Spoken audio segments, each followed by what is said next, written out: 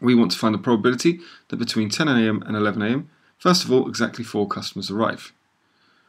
Now, before I can start calculating any probabilities, I need to identify the distribution that we're going to be using properly. So we're going to take x to be the number of arrivals. And so x is going to be distributed with a Poisson distribution. And it's 0.1. The mean is calculated by doing 0.1 times the number of minutes. So we're looking at a one hour period, so I'm going to do 0.1 times 60. This gives me that x has a Poisson distribution with a mean of 6. So we can now answer part A, where it says we want to find the probability that exactly four customers arrive. Remember, whenever you're calculating the probability of exactly anything for the binomial or the Poisson, use the formula, practice it, because in some questions it specifies that you have to do it without the tables. So the formula for the Poisson is e to the power of minus the mean, which is e to the power of minus 6, multiplied by the mean to the power of the number of arrivals, which is 4, over the number of arrivals, which is 4, factorial. When I put this into my calculator and I work this through, I get an answer of 0.134, correct to three decimal places. Let's have a look at how we get the marks here. Well, first of all, we get a standard statement mark for identifying that we have this distribution x with a Poisson mean of 6. Second of all, we are going to get a method mark for demonstrating the correct use of the formula. And thirdly, we're going to get an accuracy mark for that correctly rounded answer that we have evaluated. Now, part two.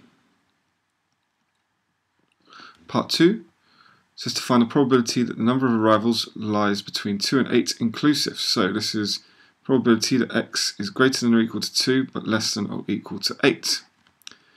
We are going to calculate this by using the tables to take the reading for probability x less than or equal to 8 and then subtracting the values probability that x is less than 2 so x is less than or equal to 1. So let's use our tables to get readings for these two probabilities. In this question, we're looking to find the probability that x is less than or equal to 8 and s is x is less than or equal to 1 for Poisson mean of 6. So if we look across the top for the Poisson mean, you can see that mean of 6 is in this first column. So really there's no need for me to rule or do anything on the right hand side of this column to make sure that I don't come across any further because I'm just coming to the first column. The two readings I need to take is the probability that x is less than or equal to 8. So if I look for the x value, down the left hand side, x is less than or equal to 8, we can see just coming across here that we're looking for a value of 0.8472. And then we're going to subtract the probability x is less than or equal to 1. So just going up to the where x is equal to 1, we can see we're looking at a probability of 0.0174. Okay, so let's continue on with the question. Probability that we get x less than or equal to 8 is 0.8472. Take away the probability that x is less than or equal to 1, which is 0.0174. When I perform this calculation, we get an answer of 0.8298 to four decimal places. How do we get our marks in this question? Well, we get statement marks for the two correct readings. So one for the first one, one for the second one. And then finally, we get a standalone statement mark as well for that correct answer at the end. Finally, part B. Part B says X denotes the number of customers arriving between 3pm and 5pm. Write down the value of expectation of X and hence find the value of expectation of X squared. So, this is x with a Poisson mean of 0.1 times the number of hours. So from, uh, sorry, number of minutes. So number of minutes from 3 p.m. to 5 p.m. is 120. So get 0.1 times 120 So this means x distributed with a Poisson mean of 12. What this actually indicates to us is first of all that the expectation of x is 12 because the expectation is the mean, but also in the Poisson distribution we need to remember that the variance of x is also equal to the mean, so that is equal to 12. Now, it asks us to write down the value expectation of x, which is 12. It wants us to find the expectation of x squared. So what we're going to do is we're going to use the standard definition of the variance of x that we use for discrete random variables and continuous random variables.